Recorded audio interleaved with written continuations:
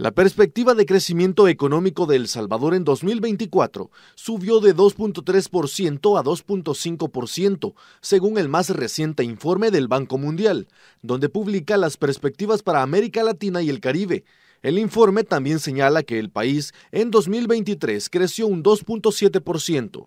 En cuanto al crecimiento del presente año, la cifra difiere a la proyección planteada por el Banco Central de Reserva, entre un 3 y un 3.5%. En comparación al resto de países de la región centroamericana, El Salvador comparte el último escaño con Panamá, que también prevé crecer 2.5%. Luego viene Guatemala, con 3%, Honduras con 3.4%, Nicaragua 3.7% de crecimiento económico y Costa Rica el primer lugar con 3.9% todos los países de Centroamérica, mostrando un crecimiento menor al obtenido en el año pasado. Un reporte de Néstor Hernández.